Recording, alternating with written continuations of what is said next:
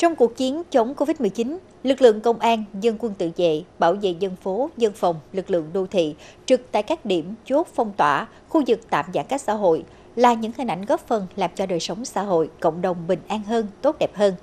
Chính tinh thần trách nhiệm, sự nhiệt tâm lao vào tâm dịch của các anh đã đem đến cho người dân sự an tâm, tin tưởng và yêu mến. Phóng sự sau đây là ghi nhận về một tấm gương như thế tại Tiền Giang.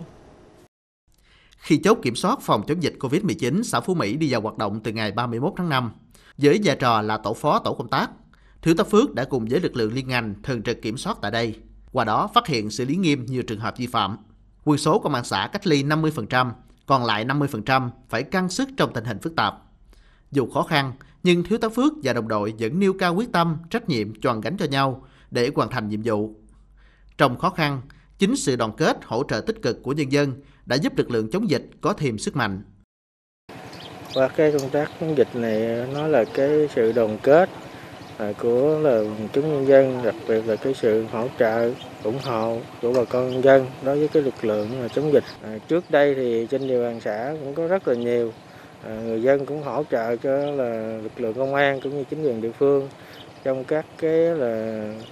À, công trình phúc lợi cũng như trong các cái mô hình phòng chống tội phạm. Kết quả đến ngày 14 tháng 8, Phú Mỹ đã có 951 hộ dân với gần 4.000 nhân khẩu được gỡ phong tỏa. Người dân phấn khởi, trở lại cuộc sống sinh hoạt bình thường.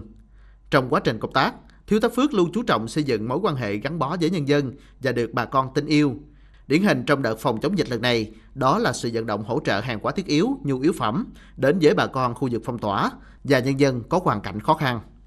Đồng chí ờ, Thiếu tá Tô Đình Phước, ờ, một cái ờ, cán bộ công an tận tụy có cái chuyên môn sâu và cái vai trò tham mưu thì rất là tích cực trong cái giai đoạn phòng chống dịch từ khi thực hiện chỉ thị 16 đến nay thì vai trò của đồng chí trưởng ngang đã tham mưu cho các quỹ chính quyền tổ chức các cái chốt cũng như các tổ tuần tra kiểm soát hoạt động thì liên tục. Cuộc chiến phòng chống dịch vẫn còn lắm gian nan. Thiếu tá Tô Thành Phước tiếp tục cùng tập thể công an xã Phú Mỹ, huyện Tân Phước và các lực lượng trên tuyến đầu giữ vững tinh thần chiến đấu trong mọi hoàn cảnh, quyết tâm đẩy lùi dịch bệnh COVID-19, đem lại cuộc sống bình yên và hạnh phúc cho nhân dân.